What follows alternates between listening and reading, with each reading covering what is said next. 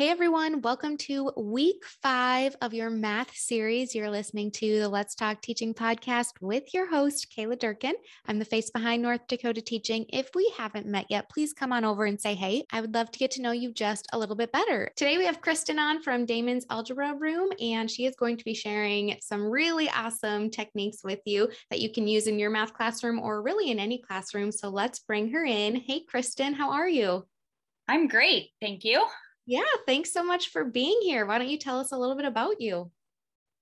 Okay, let's see. I have been in the teaching game for nine years. This is my ninth year. Um, I've taught four years in the middle school setting, so sixth, seventh, eighth. And then this is my fifth year up at the high school teaching freshman algebra. Um, very interesting. So, yeah. Yeah. So, how's everything going this year? Do you feel like you're a little bit back to normal?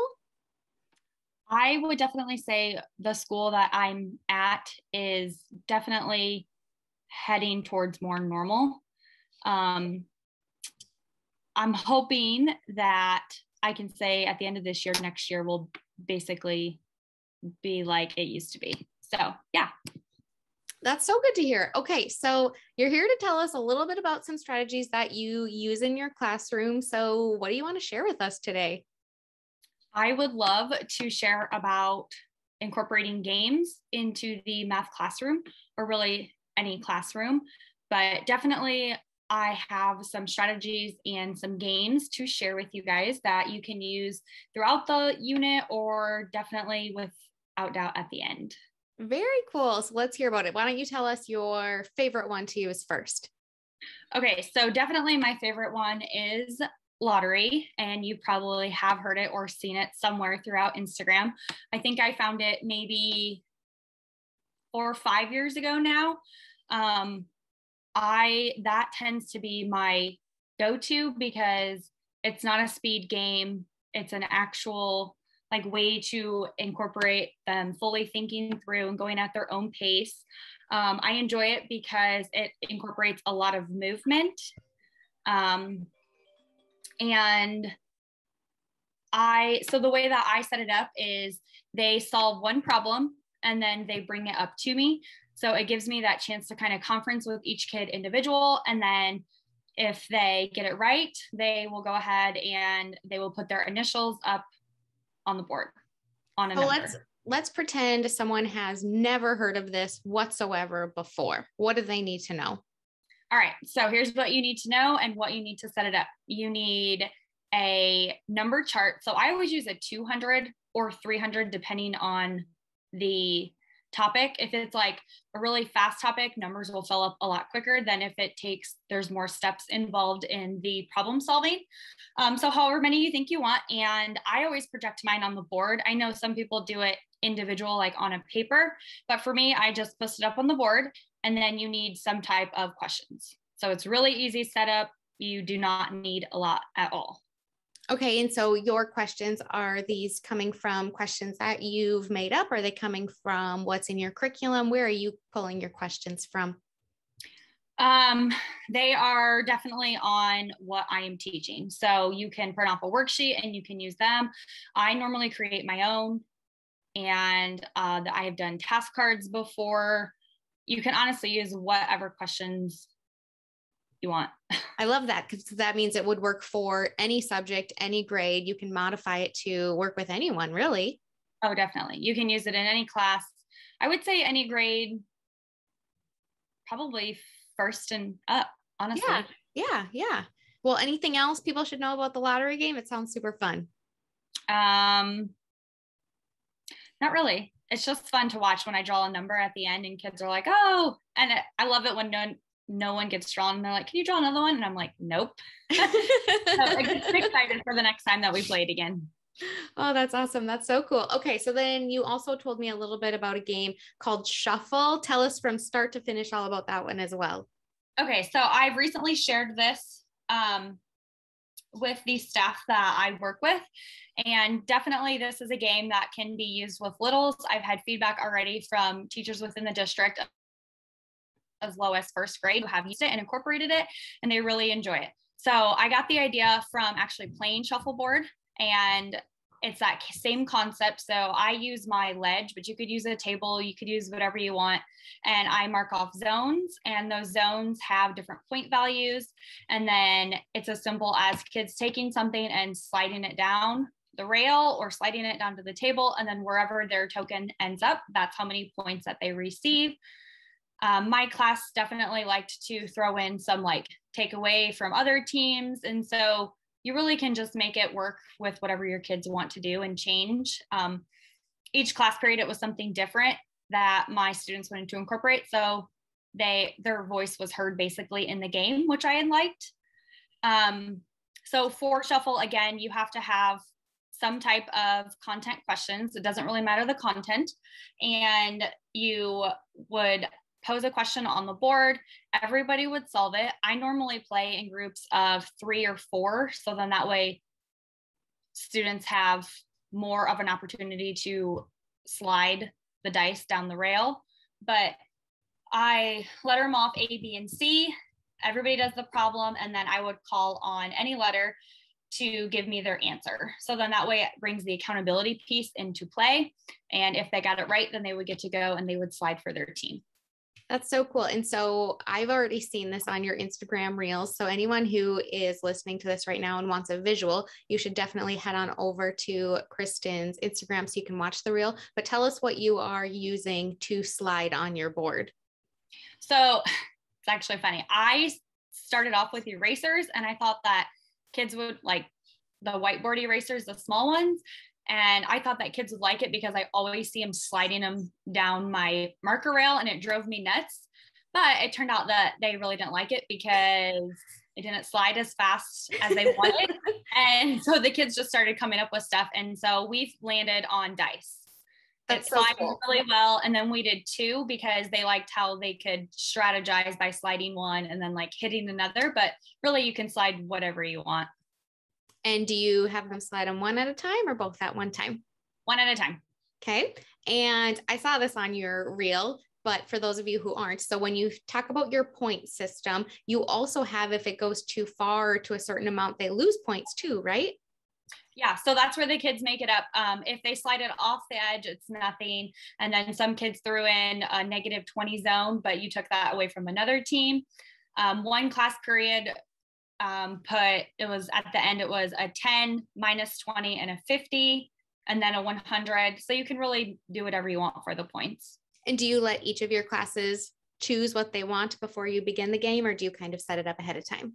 Um first period i set it up and then we're like playing halfway through and then they'll change it and then i'll leave it. And it's kind of just like a never ending cycle all day honestly. Kids just make it up however they want each class period that's so fun. And I love that because, again, it can work with any grade, any subject, doesn't really matter, but you can really modify it to make it work for your students. So I love that.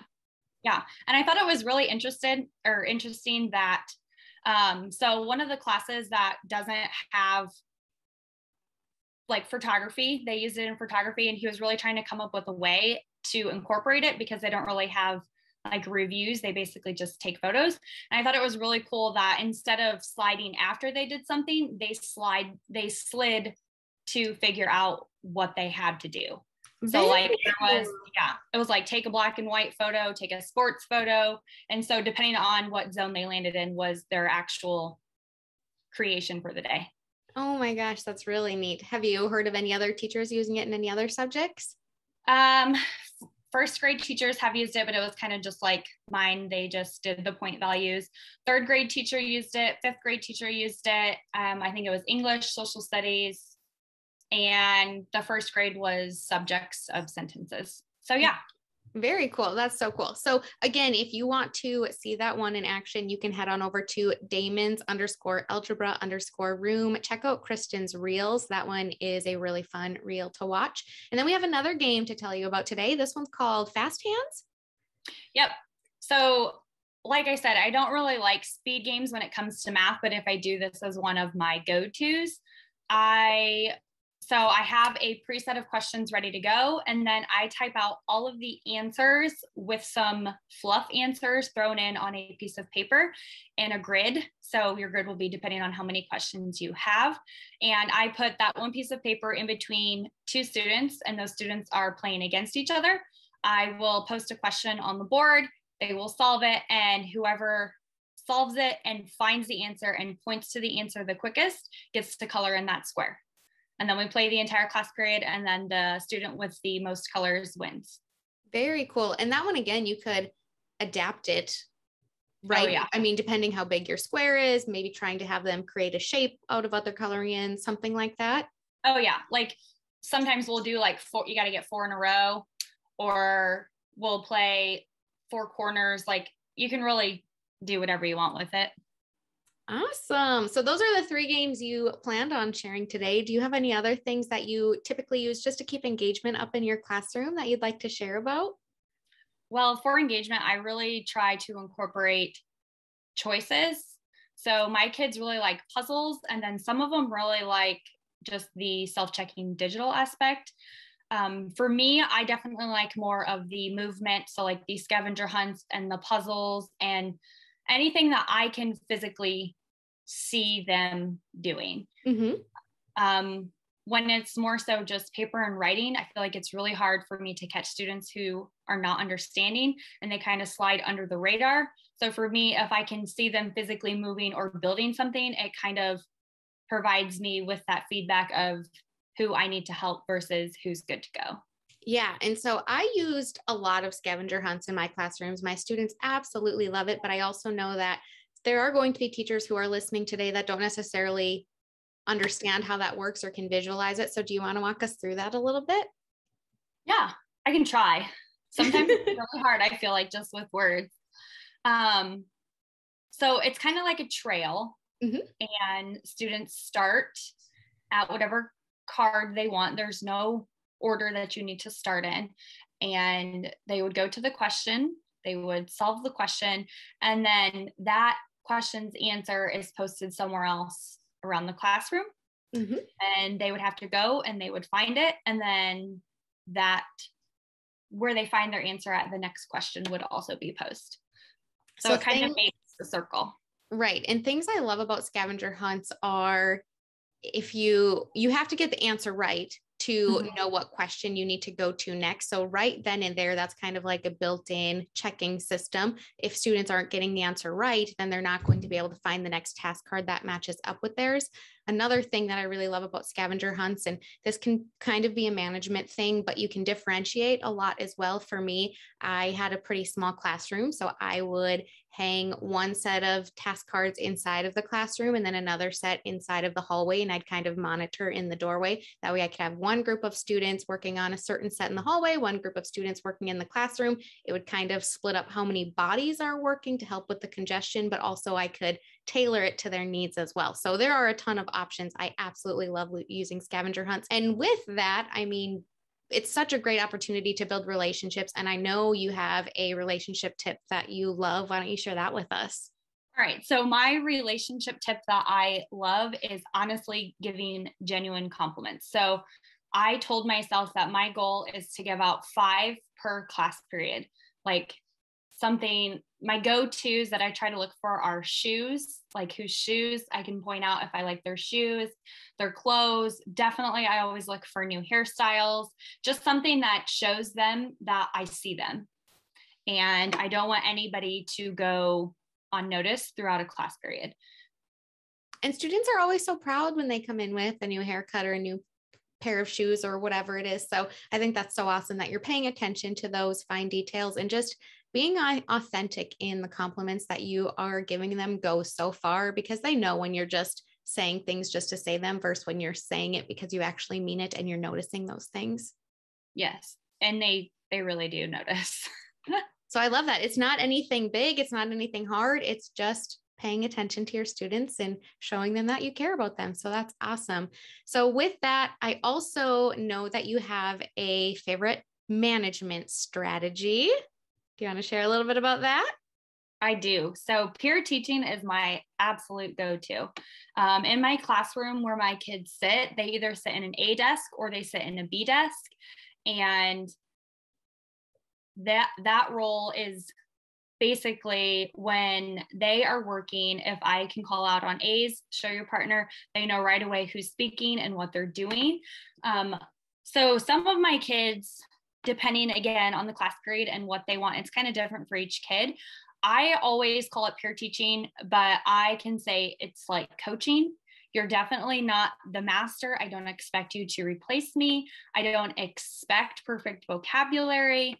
Um, I really just set the stage that this is the time where the mistakes need to be made. And the more that you're catching off of each other, the better it is for you in the outcome, or I mean, in the long run, because you are definitely deepening your understanding of the content.